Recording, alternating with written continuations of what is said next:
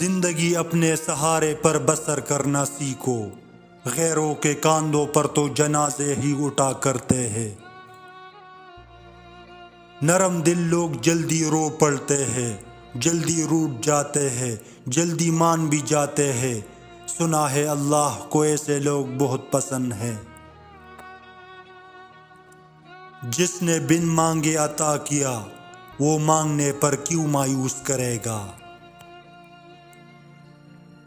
नफरत में एक बात बहुत अच्छी होती है कि आप पहचाने जल्दी जाते हैं। जो तुम्हारे नसीब में नहीं, वो तुम्हें मिलेगा भी नहीं, चाहे वो तुम्हारे दो होंठों के दरमियान में ही क्यों ना हो। अगर एक कर सकता है तो तुम भी कर सकते हो, और अगर कोई नहीं कर सकता तो तुम्हें लाजमी करना चाहिए। दिलों में पर्क आ जाए तो दलीलें मिन्नतें और पलसफे बेकार हो जाते हैं। अना इंसान को बुजदल बना देती है। ख़ास तौर पर लोगों का सामना करने का हौसला ख़त्म कर देती है। जज्बात में आकर कभी भी अपनी जगह मत छोड़िए, क्योंकि आपके मकाम पर काबिज होने को हज़ारों लोग मुंतजर होते हैं। कंधों पे मेरे जब बोझ बढ़ जाते हैं, मेरे बाबा मुझे शिद्दत से याद आते हैं। जो आसानी से मिल जाए वो हमेशा नहीं रहता, और जो हमेशा के लिए मिल जाए वो आसानी से नहीं मिलता।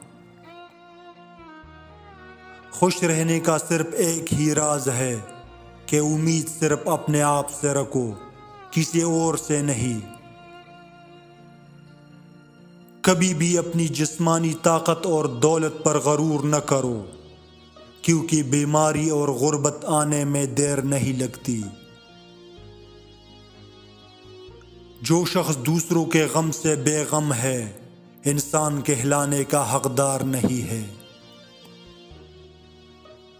बुरों के साथ नीकी करना ऐसा ही है, जैसे नेकों के साथ बुराई करना। जिस तरह आप किसी से बात और मोहब्बत के लिए तड़पते हो, वो भी वैसे ही मोहब्बत और वक्त देगा। दो बातें गौर से समझ जाओ। सबसे पहली बात आपने इस शख्स के लिए बेताब नहीं होना चाहिए, क्योंकि इसको यकीन होता है कि ये मेरे बगैर नहीं रह सकता। चाहे मैं कुछ भी करूँ तो वो जानबूझकर आपसे दूर रहेगा, क्योंकि इसको आपका तड़पना अच्छा लगता है।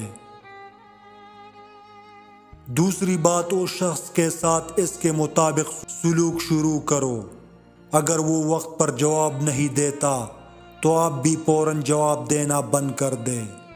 खामोशी इख्तियार करें और दूरी इख्तियार करने की कोशिश करें। अच्छी आदात की माल का औरत अगर फ़कीर के घर भी हो तो इसे बादशाह बना देती है।